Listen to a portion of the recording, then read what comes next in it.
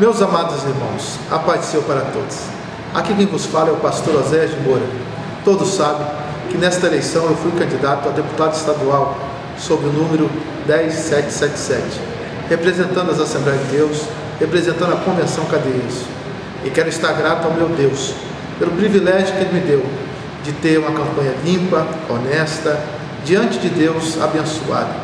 Quero estar grato ao meu Deus pelas bênçãos que Ele tem me concedido e pelos livramentos que Ele tem me dado nesta caminhada.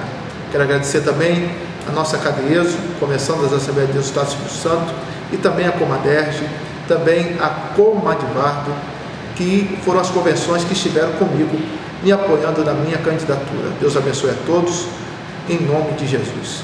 Quero dizer que a nossa campanha foi uma campanha limpa, honesta, não denegrimos a imagem de ninguém, nem em Facebook, nem em WhatsApp. Nossa campanha foi feita diante da sinceridade e diante das bênçãos de Deus.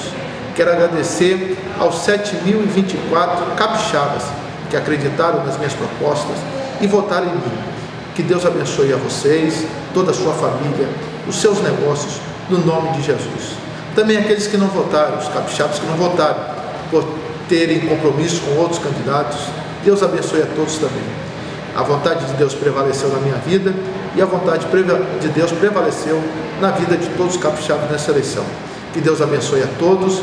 Quero agradecer de todo o coração à minha família, ao meu pai, pastor Oscado de Moura, e a todos os meus amigos e irmãos que oraram, me incentivaram e estiveram comigo Quero nesta agradecer caminhada.